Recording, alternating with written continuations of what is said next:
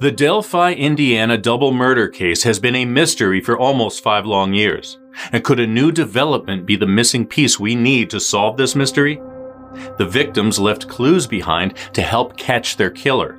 We know when the attack starts, February 13, 2017. We know where. Liberty German was Snapchatting pictures of her best friend Abigail Williams from the Monon High Bridge. And we know who. Sort of. Some sixth sense told her to grab video of him approaching. So, we've got their killer on camera. Now, she hid the phone in her pocket but let the recording roll. And now we have his voice. And we know how it ends. Half a mile away, on Valentine's Day, their bodies lying next to each other, best friends forever. It's the middle part of this puzzle that still baffles. Why doesn't anybody in this small town recognize him? Was it a crime of opportunity or planned out? And in the years before and since, has he killed again? Here's everything we know so far.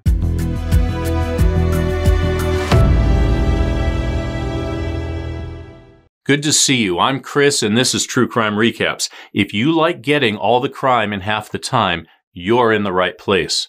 Every week, my wife Amy and I are recapping developing cases and shedding new light on old mysteries. We'd love to have you join us as we explore some crazy twists and turns in this dangerous world. And if you're tuning in on YouTube, take a second to hit subscribe and the bell so you don't miss a thing. And with that, I'm so fired up to share a new development in this case after years of silence. But first, you need a little context, so let's start with the basics. Delphi, Indiana was experiencing a heat wave on February 13, 2017. And by that, I mean it was sunny and over 40 degrees on that Monday afternoon. A perfect day to get outside after a long winter season cooped up indoors. Plus, school was canceled. It was one of those great administrative leave days to make up for something or other. And 14 year old Libby German and her best friend, 13 year old Abby Williams, wanted to take advantage. They wanted to go for a walk in the park, but they needed a ride. After some negotiation, they convinced Libby's older sister, Kelsey, to drop them off at a side entrance to the trailhead around 1.30 on her way to work. Her father, Derek, agreed to pick them up around 3ish. And the plan was for him to call Libby when he was getting close so they could meet him in the same spot. Delphi is a small town with a big love for the outdoors. There are 10 miles of interconnected trails for hikers, hunters, and campers to explore. One of the main attractions was the historic Monon High Bridge, built in 1891. It looms 63 feet above Deer Creek, and it looks like it's straight out of Stand By Me. The railroad abandoned it in 1987 and it fell into disrepair. But that just made it all the more popular. Treacherous to cross, but doable. Some of the wooden railroad ties are missing. The rest look like they could fall apart with a whisper. But hundreds of brave souls still venture to cross it every year. Taking in the view, snapping pictures, and just reveling in the nature. It meets the main trail on the north side, and to the south you run into a red barricade that marks the edge of private property. Overgrown terrain and a steep hill go down to the banks of Deer Creek on the south. There's really only one way on and off. And with no railings and a straight down drop into the water, it's not for the faint of heart. But Libby was fearless, and she'd been across it dozens of times, usually dragging Kelsey along with her. But Abby had never done it, so that's where the girls headed that afternoon. Was their killer already tracking them through the woods? At 2.05, Libby posted a snap of the bridge from the north side. At 2.09, she Snapchatted a photo from the south looking north. Abby is crossing the bridge toward her. At this point, they were a little less than halfway to the south end. It's a 10, 15 minute walk across, depending on how scared of falling you are. Minutes later, they're across the bridge on the south end, and they notice a man moving fairly quickly across the bridge toward them. And Libby gets spooked enough to record a few seconds of video while holding the phone low at her waist. He's walking with his hands in his pockets and he's looking down because there's some areas where the track is more dangerous than others. So his face isn't clearly visible, but he's wearing baggy blue jeans, a gray hoodie, blue zip up jacket, and some kind of hat with a short bill. He may or may not also have a scarf around his neck covering the lower half of his face. The sheriff put his weight somewhere between 180 and 200 pounds. He's about 5'7 to 5'10. He has reddish brown hair, not blue eyes, so we can take that to mean, well, they don't know what color they are, but They're not blue. And his age is anywhere from 18 to 40 something. The image is a little grainy because they were still a good distance away from him at this point. As he gets closer, she puts the phone in her pocket, but it's still recording. Now, this is the bit that was released to the public in hopes that someone would recognize his voice. Chilling, huh? And notice how calm and authoritative he sounds? One theory is that he was posing as a police officer, possibly telling them they're trespassing and or walking across the bridge isn't allowed. Another theory is that he has a gun in his jacket pocket to force them down the steep hill. Or both. Let's hear that one more time, yes? This is the only audio that's been released to the public. Law enforcement in this case has been reluctant to share or verify most details. The rest of the recording has been held back, but they have said that at some point on their walk, Abby can be heard asking if that creepy guy is still following them or something along those lines. After they were forced down the hill, they got to the banks of Deer Creek. Now, the name is a little misleading because it's more like a shallow river. And based on helicopter footage taken by news crews the next day, it's about thigh to waist deep on an adult. But there's a spot around the bend east of the bridge where there's a sandbar, so it's easier to cross. And you can't see the bridge from there. The water would have been freezing that day. From here, the story drifts towards educated guesses based on the victim's family's interviews with media and podcasts like Scene of the Crime and HLN's Down the Hill. Were the girls chased across Deer Creek? Were they forced in at gunpoint? We don't know, but one of Libby's black Nikes was found on the bottom of the steep bank on the other side. A pair of underwear and a cigarette butt were also found in the water, according to the police scanner transcript. What, if any, connection they have to this case, we don't know. 50 to 60 feet up the steep bank, it's thick forest and rough, muddy terrain. There's one house overlooking the area, but it's not clear if the owners were home that afternoon if they saw or heard anything that hasn't officially been released. There's also a cemetery at the very top of the ridge and a rough deer trail leading there from the spot where they were found. It was isolated but risky, but he didn't care. The details of their murder haven't been officially released or confirmed, but leaked texts from the volunteer search party that found them say they had knife wounds and their bodies were deliberately posed.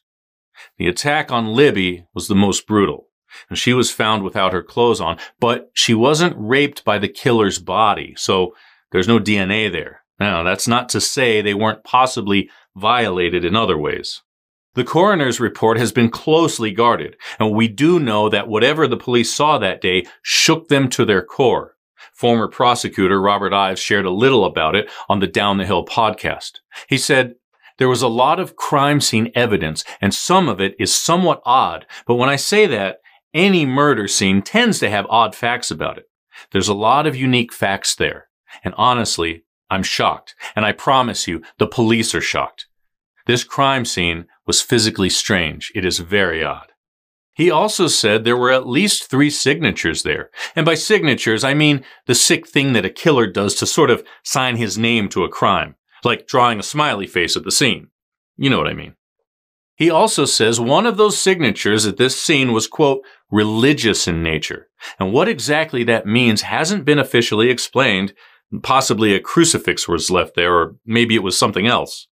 Other signatures could involve dolls or other toys on the scene. He could also be referring to the way the girls' bodies were posed. If any or all of that is accurate, then the question becomes when and how did the killer set it all up? Before or after? Now, speaking for myself and Amy, the most logical answer to the question of when is that he did it after the murders, under the cover of darkness, especially since that house is there with a good view of the area. And we'll get into the how in just a minute. Because the facts of this case have been so closely guarded, we don't know for sure exactly when the murders happened, but some eyewitnesses say they passed a man fitting his description on the main trail around 3:15 p.m. And like everything else in this case, what they saw and when they saw it has been hotly debated. It's worth wondering out loud how he crossed a semi-deep creek, murdered two teenagers, then strolled back through the trails without anyone noticing his wet clothes and possibly blood, depending on what their cause of death was. It's been suggested that his bulky coat could have been masking a lot of layers, so that's fresh clothes underneath. His baggy jeans might have been hiding taller boots that could have kept him dry crossing the creek. And as far as a murder weapon goes, police believe he had a gun and possibly a brown deer kit strapped around his waist. Now that's basically like a fanny pack that deer hunters use to carry their knives. And in the short video Libby got, you can see a brown material of some kind on him. But back to his escape. The nature reserve is near two main roads, either one of which could have made for an easy getaway. If his car was parked near the place where Libby and Abby were dropped off, he could have been making his way back to it, assuming the witnesses saw what they thought they did. On the other hand, the cemetery is a straight shot from the crime scene. He could have been parked there. And we're going to come back to the car thing a little later. At this point in our story, it's about 3.15 and Libby's dad is trying to get a hold of her to let her know he's there to pick them up. He's calling and texting, but she's not picking up. So he calls her grandmother, Betty. Now, he and the girl's mother had some struggles in the past, and Kelsey and Libby were raised by their grandparents, Mike and Betty. But Libby's not picking up for Betty either. If this had happened two or three weeks earlier, she could have used the Find My Phone app to locate her granddaughter. But Libby's phone was factory reset just 10 days earlier to fix some bugginess, and that app hadn't been reinstalled. So instead, she calls Mike, who goes over to the park to help Derek look for them. Without going too far down this rabbit hole, Derek speaks to a couple of people, but no one has seen the girls. And by 5.30, Mike reports Libby missing. The biggest concern right now isn't murder, it's it, that it's an accident, like maybe they've fallen and can't get up.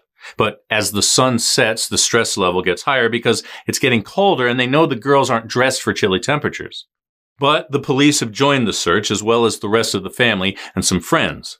By six-ish, the police call it a night. It's dark and they kind of think the girls just went off somewhere and haven't phoned home. They're not super worried, although their families absolutely were. It's been said that as many as a hundred people kept looking on their own until almost midnight. Now that's a lot of people combing the woods, and you might be wondering why they weren't found that night. The Down the Hill podcast asked the lead investigator that question too. He paused for a long time and then said, I think I'll leave that question unanswered. And in this case, saying no comment to a specific question is a comment. What do you think it means? Think on that while we keep moving forward. The next morning on Valentine's Day, a massive search was launched with hundreds of people stepping up to help, police dogs, helicopters, and other emergency services. It was about 1215 when one volunteer group of three people found the girls, and the way they were spotted was nothing short of a miracle. The way the story goes, one male volunteer in the group was using the zoom feature on his phone's camera to see farther faster when he happened to notice some movement through the trees. It was two deer, but when he panned down and over, there were Abby and Libby. They'd been left on the back corner of a 40 acre plot of land owned by 70 something year old Ron Logan. Now, old Ron has a colorful history with the local cops. He's been slapped with a DUI a couple of times and his license was suspended, but on the afternoon it happened, he was seen on a security cam making a trip to the local dump and drinking at a local pizza place. His errands that day gave him an alibi, but he wasn't quite out of the woods yet. Let's put a pin in that. We're coming back to him. For now, let's stick with Abby and Libby. The easiest, closest way to the scene was from the cemetery.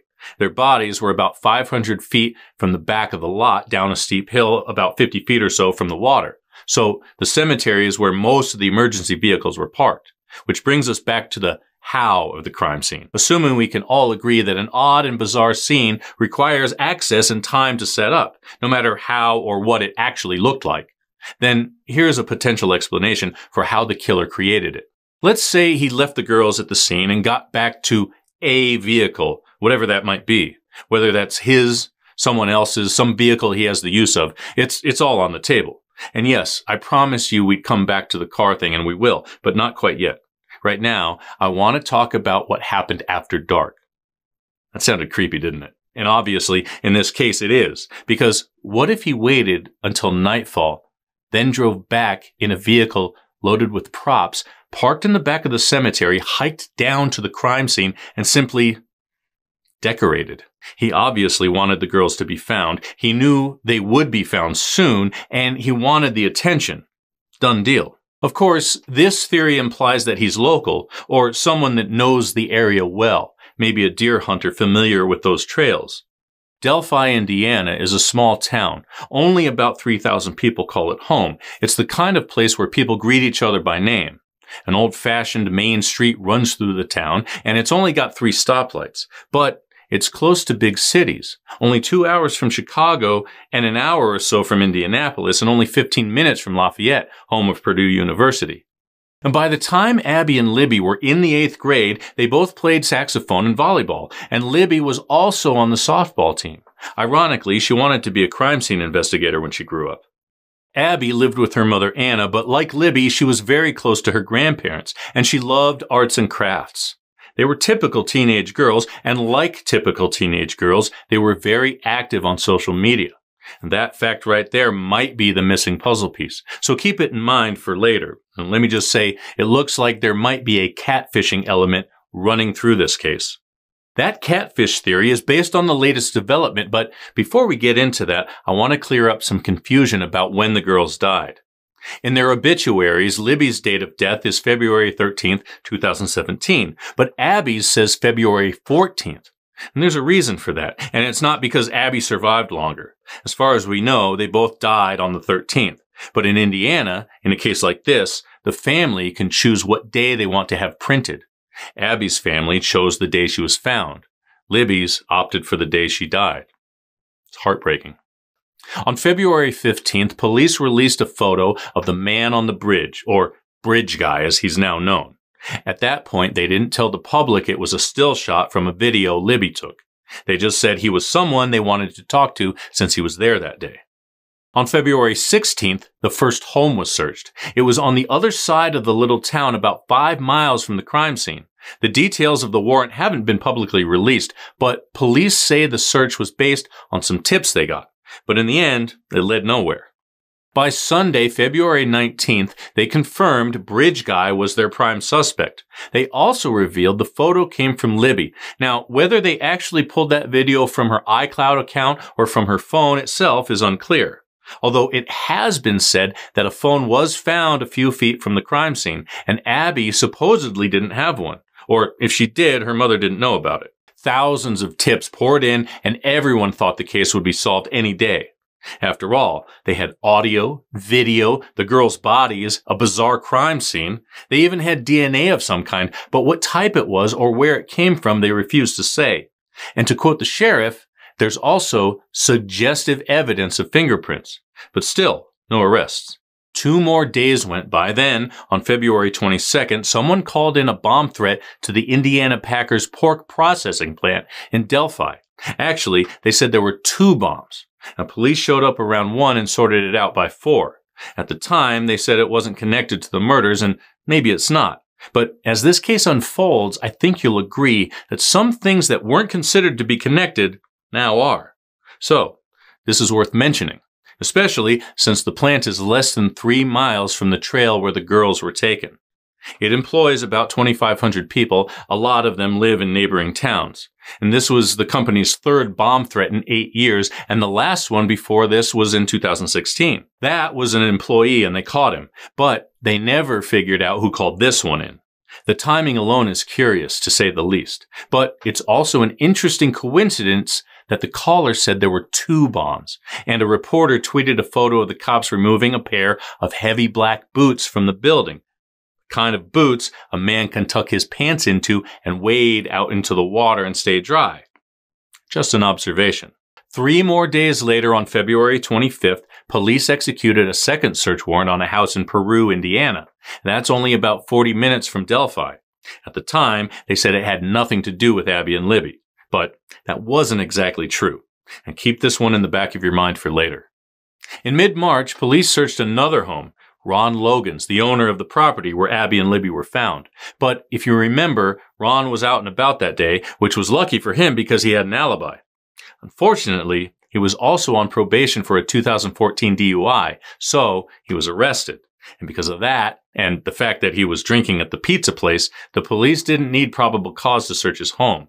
But they came up empty, and in the end, Ron was sentenced to house arrest and cleared in the double murder case.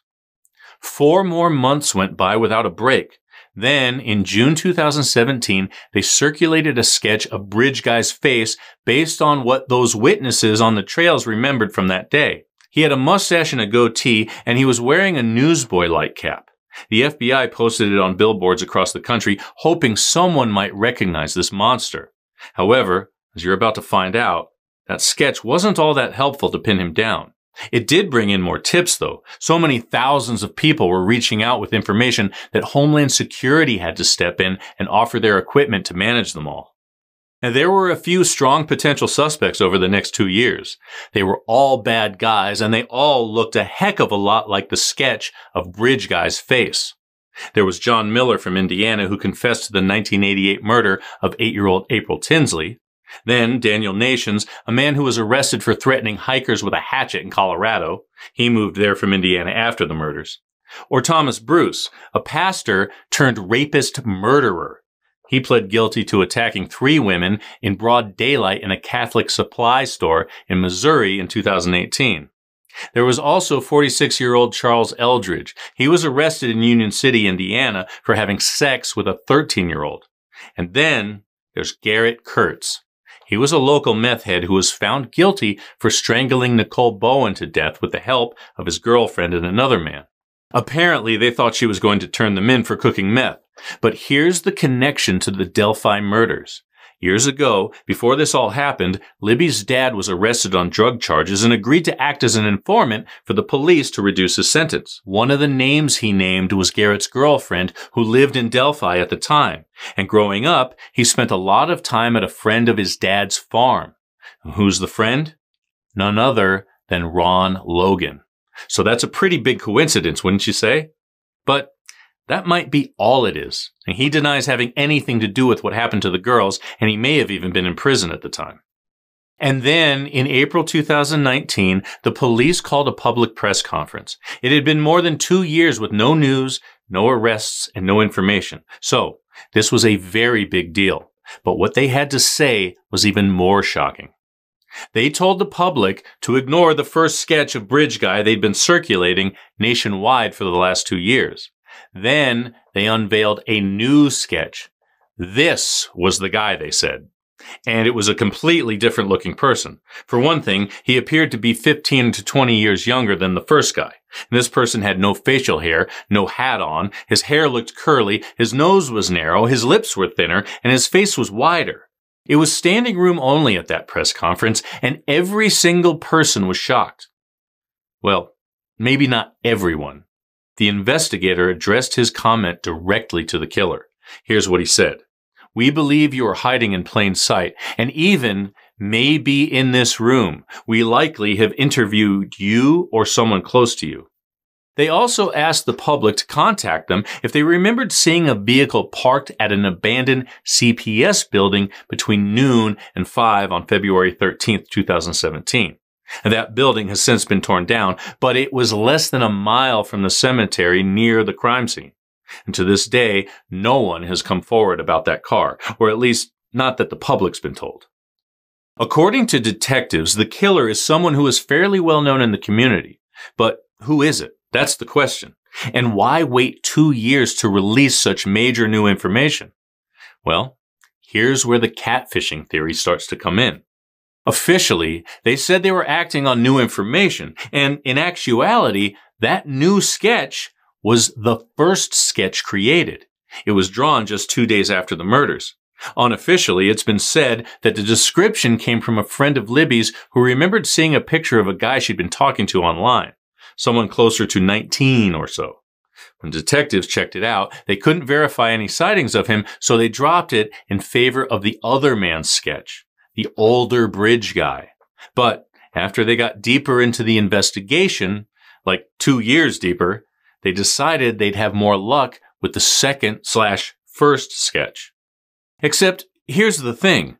That sketch might be the fake face used by a catfishing sociopath, aka the killer. And maybe the police released it because they wanted to let the real guy know that they were onto him. Now that's one theory. On the other hand, it could be a real person who was really there that day and really killed the girls. But there's a major reason why the catfishing theory might actually be true. And I hate to leave you hanging, but we have to give a quick thank you to today's sponsor. But don't go away because you have to hear how all this connects to the brand new 2021 development. And it's potentially huge. $5 here, 10 bucks there. Monthly subscriptions often feel like a great deal until you forget about them long after you've forgotten about it. So get your subscriptions under control with Truebill. Truebill is the new app that helps you identify and stop paying for subscriptions you don't need, want, or simply forgot about. On average, people save up to $720 a year with Truebill. The fact is, companies make subscriptions hard to cancel, but Truebill makes it incredibly simple. Just link your accounts and Truebill will cancel the subscriptions you don't want in one tap. And your Truebill concierge will even cancel those unwanted subscriptions for you, so you don't have to. Truebill can also save you money on the subscriptions you do use. They saved us $100 on our SiriusXM service. It was like pretty amazing. Truebill has over 2 million users and helped save them over 100 million. Like Jennifer B, who says, with your help, our family has saved $587 a year on unnecessary subscriptions. I really didn't understand how Truebill could help me until we decided to save for a very large home purchase. So don't fall for subscription scams. Start canceling today at truebill.com slash true. Go right now truebill.com slash true. It could save you thousands a year. truebill.com slash true. Now back to the show. On December 6, 2021, Indiana State Police released this statement. While investigating the murders of Abigail Williams and Liberty German, detectives with the Carroll County Sheriff's Office and the Indiana State Police have uncovered an online profile named Anthony Shots. This profile was being used from 2016 to 2017 on social media applications, including but not limited to Snapchat and Instagram. The fictitious Anthony Shots profile used images of a known male model and portrayed himself as being extremely wealthy and owning numerous sports cars. The creator of the fictitious profile used this information while communicating with juvenile females to solicit nude images, obtain their address, and attempt to meet with them. Pictured on your screen, you'll see images of the known male model and images of the fictitious profile sent to the underage females. We have already identified the male in these images that were used by Anthony Shots. The male in the photo is not the person of interest in the investigation. Detectives are seeking information about the person who created the Anthony Shots profile.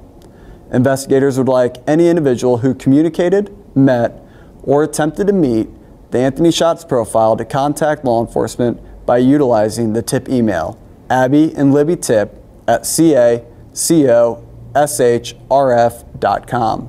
Anthony Shots is really Kegan Anthony Kline. It was his father's house they searched in Peru, Indiana, less than two weeks after the murders. Why?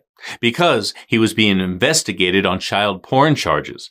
In 2017, he was 22 years old. He'd been using a random male model's pictures to catfish underage girls on Snapchat, Instagram, and Kik for at least six months before they caught him. At first, he denied it, but then he confessed. And they would send him nude photos and X-rated videos of themselves, thinking they were flirting with this sort of Justin Bieber looking guy. As if that wasn't bad enough, he was also using his stepsister's name as a profile name to convince these girls that they were talking to another girl. Anything he got, he saved, and he even used some kind of Dropbox system to allegedly share them. And back in 2017, they seized at least six pieces of electronics from him. Phones, tablets, laptops. One of those phones had been factory reset on February 17, 2017, just four days after the murders. The probable cause affidavit is heavily redacted, but in hindsight, knowing there was a connection to Abby and Libby's case, it's not hard to fill in the blanks where a certain redacted case is mentioned. He was polygraphed about the Delphi murders, if the redactions are being interpreted correctly, then taken home.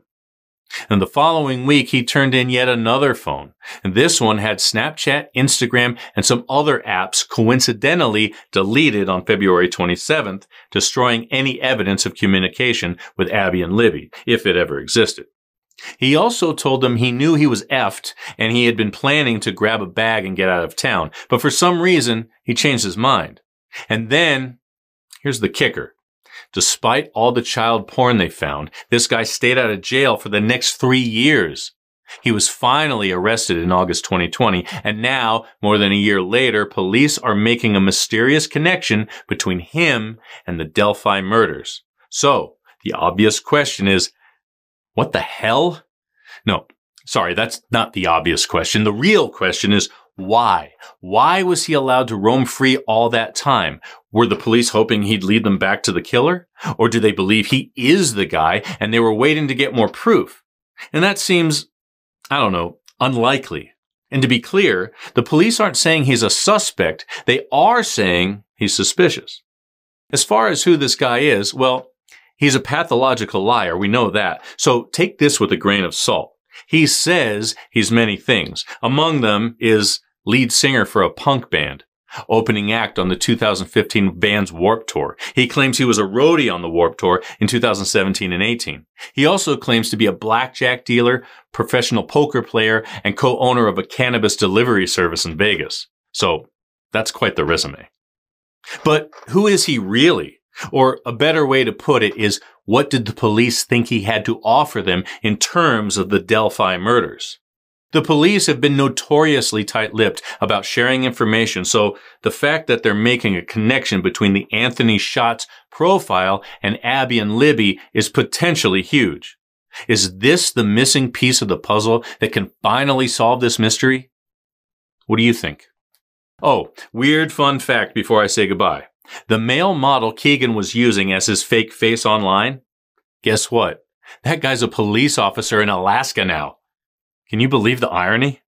And that's your recap. Thanks for spending some time with us today. If you like getting all the crime in half the time, please subscribe, give this a like, and hit the bell so you never miss a story. And thanks again for spending your time with me today. Amy and I are here with new recaps every week. So until next time, take care.